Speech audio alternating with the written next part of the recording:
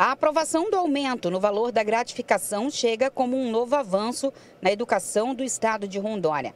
As alterações, já publicadas no Diário Oficial, trazem importante diferença na receita dos docentes, apoio pedagógico e equipe técnica em educação. Aos nossos professores, aos técnicos educacionais e à nossa equipe gestora. O nosso governador Coronel Marcos Rocha determinou que nós valorizássemos o trabalho maravilhoso que todos vocês fazem pela educação de Rondônia. O aumento na gratificação aos técnicos em educação do estado salta de 126 para 500 reais.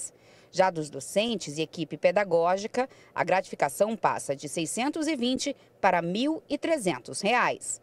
E a partir de agosto, retroativo a julho, nós estaremos aumentando a gratificação de incentivo à docência, a gratificação de unidade escolar e a gratificação para os gestores escolares.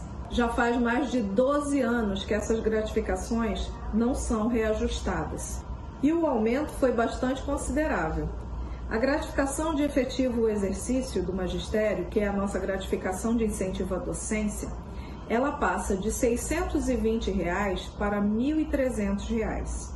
A gratificação de unidade escolar passa de 126 reais para 500 reais e a gratificação da nossa equipe de gestão escolar será escalonada por grau de complexidade de cada unidade escolar. O recurso utilizado para o pagamento desses servidores é decorrente ao Fundo de Manutenção e Desenvolvimento da Educação Básica e de Valorização dos Profissionais da Educação.